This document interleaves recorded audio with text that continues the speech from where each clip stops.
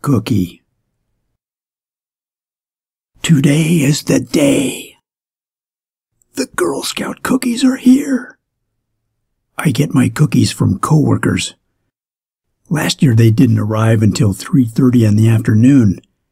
I didn't eat lunch that day. I was so hungry I ate a whole box of Samoas. My body started to shake. I walked around like Beavis, with my shirt over my head, muttering, More Samoas. I had to leave work and lie down for 35 days. I don't mind people selling their Girl Scout cookies at work, but if they were having a sales contest, it would be a little unfair. One kid knocks on doors all day in her neighborhood to sell cookies. After two weeks, she has blisters on her hand from ringing and knocking.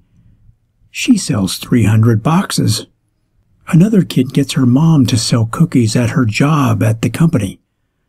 Mom unfurls a huge banner on top of the building that can be seen from Mexico. Thin mints are here. Call Mary in accounting. After two weeks, Mary's kid has sold 257,000 boxes. I like buying from coworkers because it is easy. This year I spent $7,000. Between Girl Scout cookie expenditures and March Madness bets, I'm broke.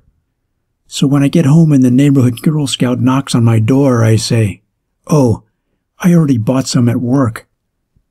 Then a pained look comes over her eight year old face. I look down at her bruised and bloodied hands, and I have to buy cookies from her. One hundred boxes. She takes American Express. The Girl Scouts cookie campaign is pervasive. Some of them sell cookies outside the neighborhood grocery store. Some of them look too old to be Girl Scouts. They are smoking cigarettes and checking each other's tattoos. Since I already have enough boxes to build a small castle, I look straight ahead and avoid eye contact.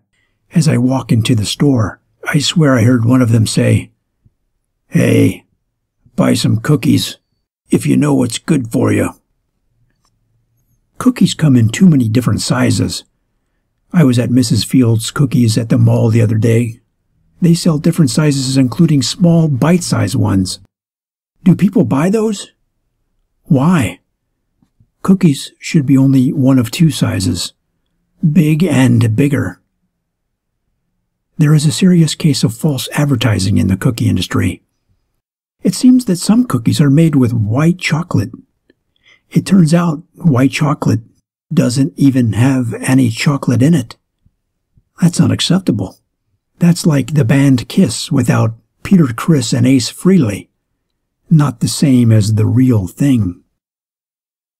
There was an urban legend going around last year that a lady loved the chocolate chip cookies at Neiman Marcus so much, she asked if she could buy the recipe. She thought the salesperson said it cost $2.50 and to add it to her bill. When she got her statement, it said $250. She called the accounting department at the store demanding a refund, and the store said no.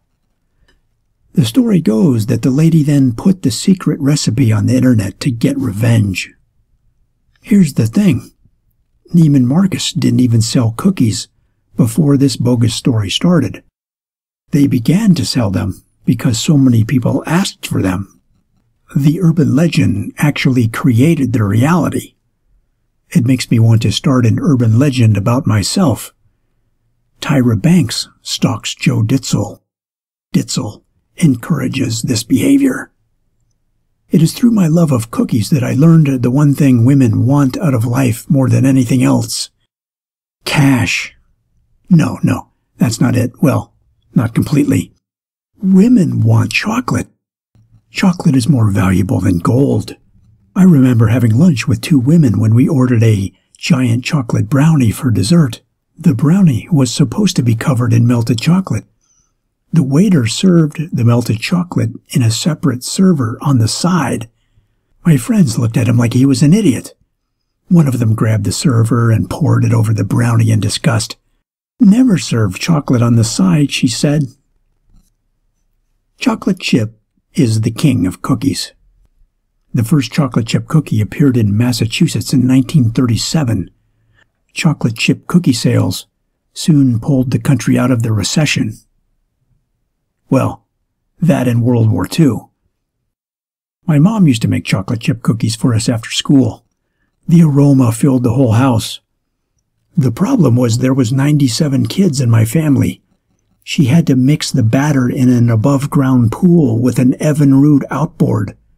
When she was done mixing, she let us lick the propeller.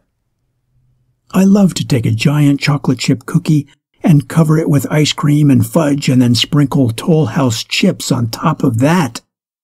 I eat it from a serving dish usually used to serve pasta for 12 people.